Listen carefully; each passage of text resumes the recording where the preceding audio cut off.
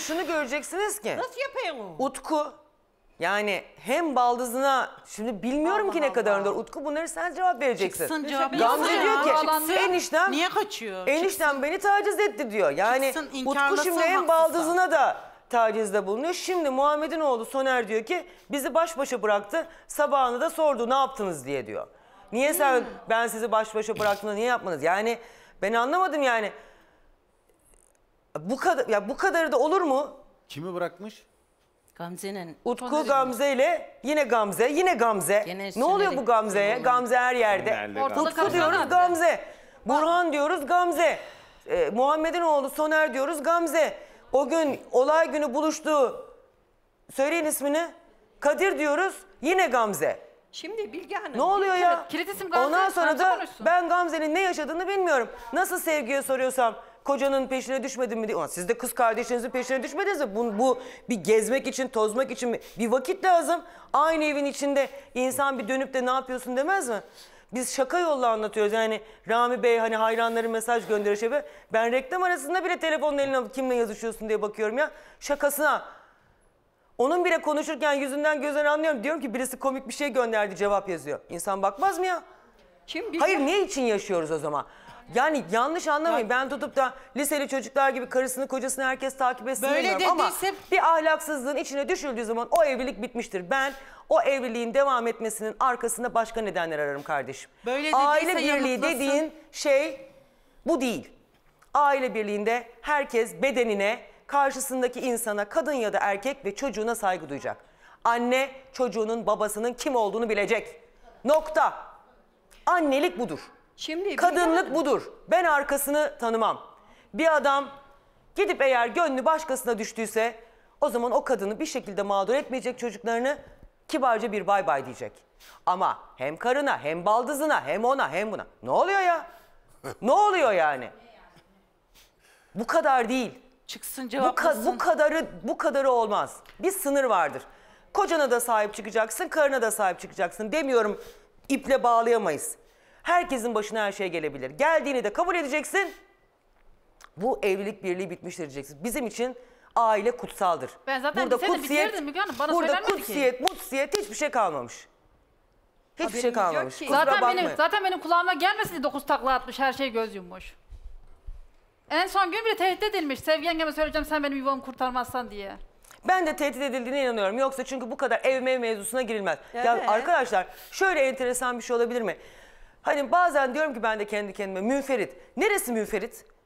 Şimdi biz burada Burhan'ı araştırırken hadi Fer- şey çıktı, Feride çıktı karşımıza, hadi Utku çıktı. Tamam iki arkadaş arasında münferit. E diğerleri de giriyor işin içine. O da bu da şu da bir. Neresi şimdi münferit değil mi kaldı bunun?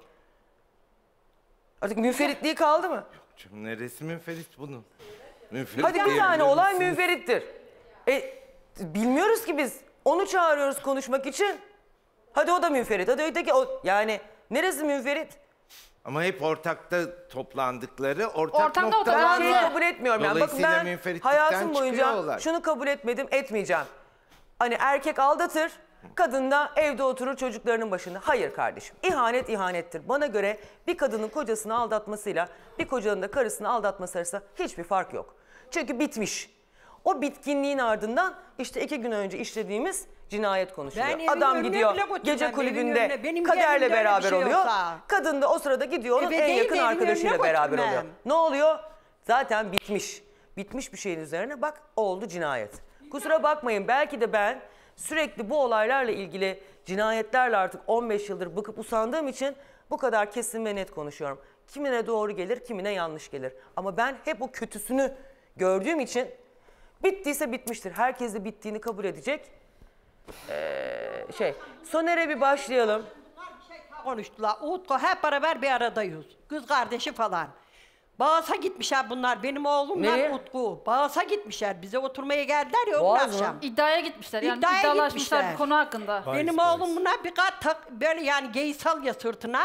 Kime? Bağız'a gittik diye ben kazandım diye benim oğlum. Bahis Utku'ya mı Ha, alıyor? Utku ben Burhan'la Utku kazandım diye. iddialaşmışlar. Utku, iddiayı Burhan kazanmış. Utku o da ben- kıyafet almış. Bir, kı- Neyi, bir kat neyin için kıyafet iddiaya almış gittiyse ona. artık. Tamam neyse olabilir konuşuyorlar öyle şeyler. Ay, biz Ondan daha neleri bahsediyor. konuşuyoruz onların iddiasını mı konuşacağız? Bir başlayalım Soner'e. İşte. Niye konuşuyorsun? Cinayet işlenmeden önce o akşam Burhan Karakuş'la görüşen isimlerden biri de yeğeni Soner Karakuş'tu. Olay günü dükkandaydım Utku'nun dükkanında Delakkı'da. Saat 4 gibi Ereğli'ye indim merkeze. Orada bizim çocuklar kavga etmişler. Sonra onların yanına gittim ben. O çocuklarla kavga ettik. Sonra köye döndüm ben. 5 gibi geldim ben Delakkı'ya. Utku'ya eve geçsen dedi banyo yap dedi. Eve geçtim ben duşumu aldım. Sonra Utku beni aradı koca mezarlığa geç diye. Tamam abi geçeyim dedim. Amcamın alkol aldığı yer. Amcamın arabasına oturdum. Emrullah da var yanımda. İşte ben amcama olayı anlattım. Biz dedim bugün kavga ettik dedim. Dayak diyeceğiniz dedi. Dayak da atacaksınız dedi. Şey yapmayın dedi. Kafanıza takmayın dedi. Boş verin dedi bize. 9 gibi köye geldim ben. İşte kahvede çay içtim arkadaşlarımla. Sonra hep beraber dağıldık biz evlerimize. Yattım uyudum. Annemin koşmasına kalktım o akşam. Anne ne oluyor dedim. Amcan dedi intihar etmiş dedi. Hemen motorumu çalıştırdım gittim babamın yanına. Amcamın yanına. Elinde silah böyle duruyordu parmağında. Yengemle babaannemler bağırıyordular. Niye yaptım böyle falan diyorlar. İlk etapta intihar ettiği düşünülen amcası için vuruldu dediğine dair söylentileri de yalanlıyor Soner Karakuş. İntihar etmiş diye biliyordum zaten ilk Yani başta. siz kimseye vurulmuş demediniz mi? Yok hayır demedim. O akşam siz birilerini arayıp e, haber verdiniz mi Burhan Karakuş'un öldürüldüğüne dair?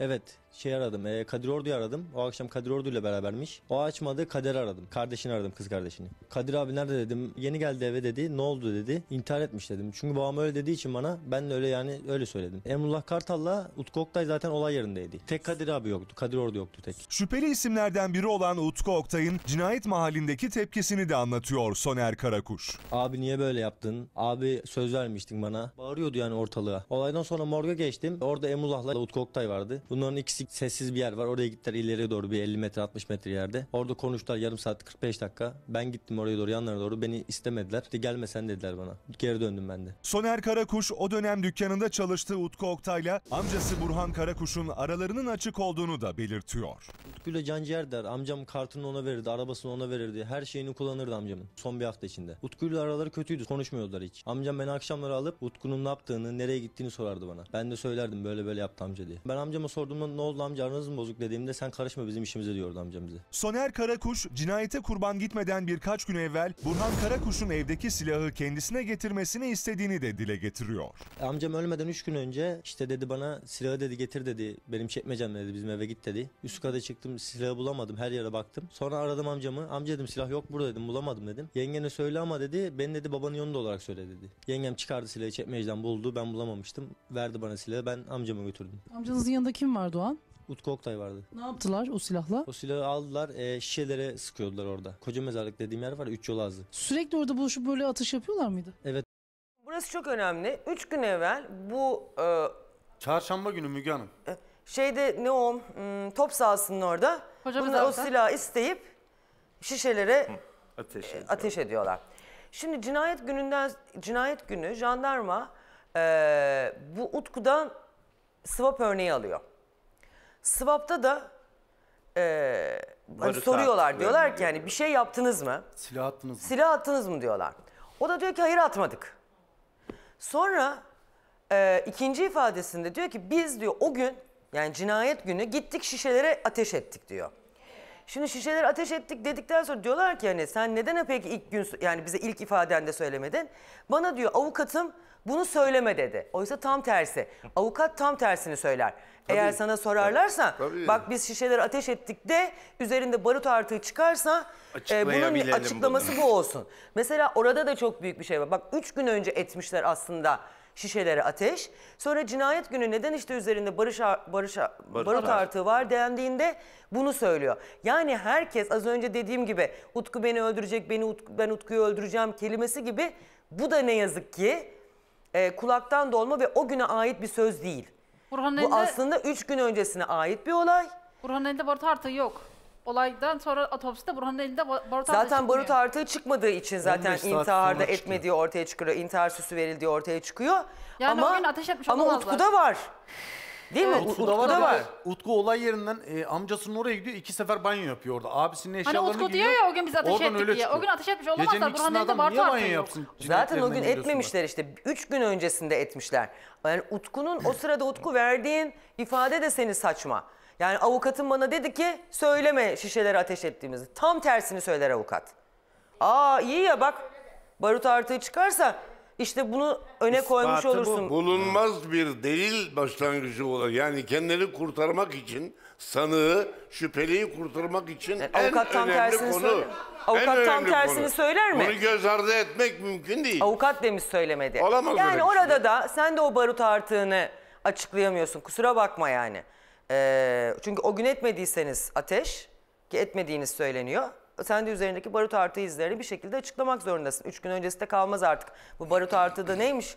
Saçma sapan konuşuyoruz Kaynak bazen maynak konularda. Müge Hanım iki kere banyo öyle. yaptırmışlar yine çıkmamış. Evet o banyoyu da kendine gelmek için yaptırmışlar. Onu da e, konuştum şimdi izleteceğim size. Bir ara verelim işte Soner'in bundan sonra anlatacakları da çok önemli. Bakın şimdi bu üç gün önce bu silah niye alınıyor? Ertesi gün Feride niye intihar girişiminde bulunuyor? Kendisini apartmanlardan atmaya kalkıyor. Aynı gün, ertesi gün neden Burhan'la kız kardeşi tekrar yine beraberler? Ve Burhan niye çok sinirli bir şekilde akşam eve geliyor? Bu üç gün. Her şey bu üç günde aslında gizli. Ee, inşallah anlatacağız, konuşacaksınız diye ümit ediyorum. Bir ara verelim.